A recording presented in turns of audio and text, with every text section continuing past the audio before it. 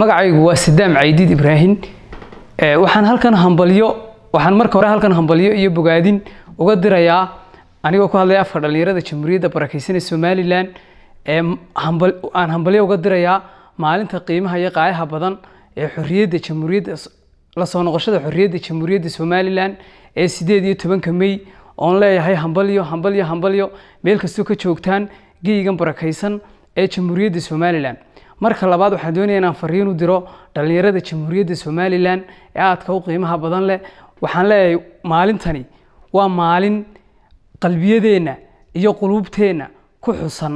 Waa maalintii awowyaasheen iyo adeeradeen ay dhiig badani uga daatay si aynu inagu xorriyad iyo haybad ugu noolaano waa maalin maalintani ay hooyooyinkeen iyaga oo gaajo dhexda xidhay ay inoola tallaabeen xeryihii qaxoontiga ee xeryihii qaxoontiga ee dulcad iyo daroor si aynu mustaqbalka xorriyad u helno tan aynu maanta ku naaloonayno.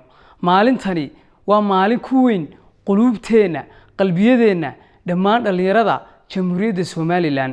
Dhallinyaro wakhtigani dhallinyaro wakhtigan innaga ayaa leh innaga ayay tahay inaynu ka faa'iidaysano dhallinyarada waxaan kaloon fariin u dirayaa maalintani waa maalintii awowyaasheen ay in badan haadku cunay si aynu inagu xorriyad u helno. Waa maalin inagu weyn oo inagu qiimo badan. Waxaan kaloon dhallinyarada jamhuuriyadda somalilan leeyahay dhallinyaro maalintan innaga ayaa leh. Yaynaan u oggolaanin in cid kale inagaga ciyaarto.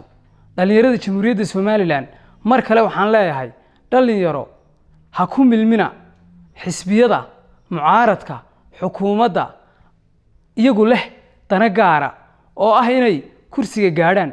Dhallinyaro dadka isku keen dul haysta hadday xisbiyada tahay iyo hadday mucaaradka tahay iyo hadday xukuumadda tahayba waa cadciis casar joogta. Iyagu way soo qaateen wakhtigoodii innaga ayaa wakhtigan iska leh. Ma yaynaan u oggolaanin in cid kale inagaga ciyaarto